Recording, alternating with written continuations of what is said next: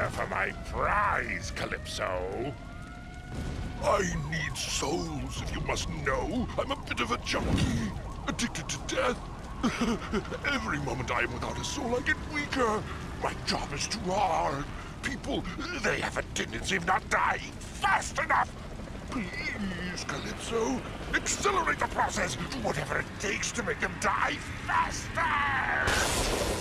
I did just that.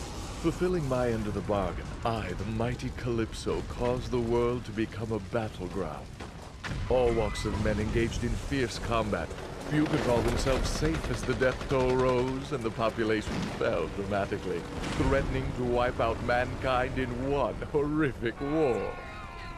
Within weeks, the earth was reduced to chaos as the streets began to rise with the bodies of the dead. The souls came pouring in.